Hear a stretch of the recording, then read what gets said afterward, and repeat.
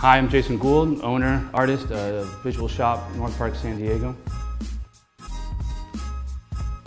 Starting back in you know, July 2014, uh, just kind of took it upon myself to approach North Park Main Street and just ask them, you know, what could we do? I mean, where can we start to start putting art back into the public space? I mean, you're living in a community that's all about you know, lifestyle, I mean, the art, you know, brings all that stuff full, full circle. This is a style of art that's happening all over, all over the country, all over the world. Where is it, where is it in San Diego? Uh, there's not as many opportunities for artists, so the Visual Public Art Project is that venue. It's just a natural fit to take what Visual Shop is, which is retail, selling the products um, um, that a majority of these artists use, and then showcasing their work inside the space, and then taking that same energy and then kind of you know, refocusing it back into the public space. First step was the electrical boxes.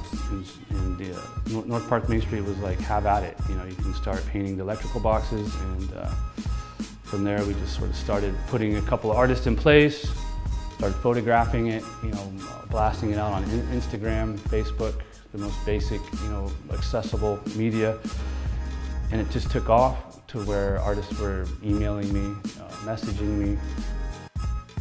Uh, everything that I've heard to me personally has been like extremely positive. Um, whether it's from people coming in the store telling me that you know good job, keep doing it, we love the boxes, um, or you know, North Park Main Street saying you know good job, keep it going. I mean, but we just kept doing it.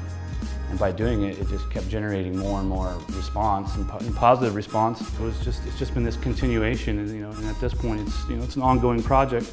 Well, part of the, the whole concept of the project is to package it so it can be taken beyond North Park. I mean, North Park is kind of the testing ground for it, and it's been overwhelmingly, I think, successful. So it's just a matter of packaging it, marketing it, and being able to do the same thing, you know, uh, in other neighborhoods.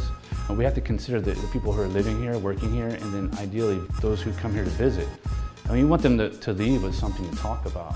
It's a, it's a jumping off point to create some dialogue. And they're walking around the neighborhood and they're going into all the shops and the, and the clubs and the bars and the restaurants, but they're also looking at art. They're seeing art as they're walking through.